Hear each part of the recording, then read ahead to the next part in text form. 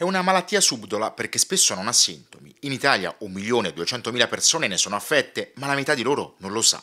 È il glaucoma che rappresenta la seconda causa di cecità nei paesi industrializzati. Il glaucoma è una malattia cronica degenerativa che colpisce la testa del nervo ottico. È una malattia subdola, insidiosa, asintomatica e in questo sta il suo pericolo perché il paziente non, non, ha nessun sintomo, pensa di stare bene, magari si rivolge a fare un semplice controllo dal, dall'ottico che sta sotto casa per prendere un paio di occhiali, ma a volte si, eh, si scopre che eh, dopo qualche anno forse il disturbo asintomatico che lui aveva era eh, dovuto a qualche altra cosa.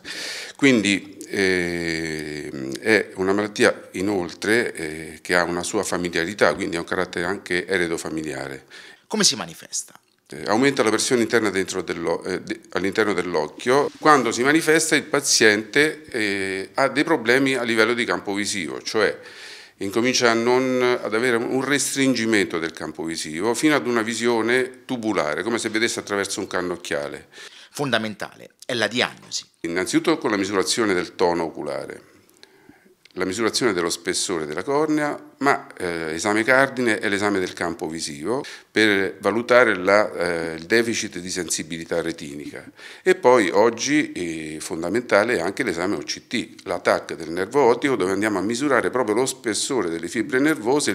Ma come si cura il glaucoma? Si incomincia oramai con una terapia eh, topica, con dei coldiri che comodamente si possono mettere una volta la sera oppure si possono associare nel, nella gradualità della terapia con altri colliri.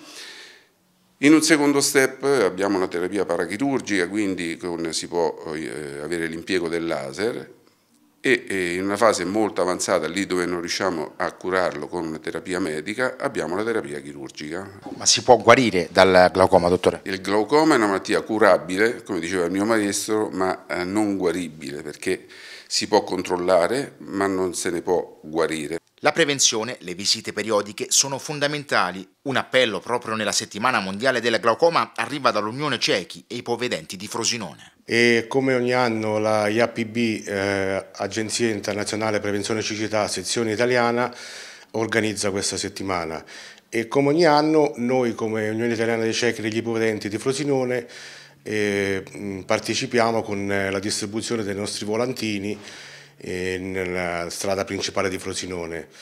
Io, come dico sempre ogni anno, eh, l'Unione sta con la prevenzione e prevenite, prevenite, prevenite, perché il glaucoma è un mostro nascosto.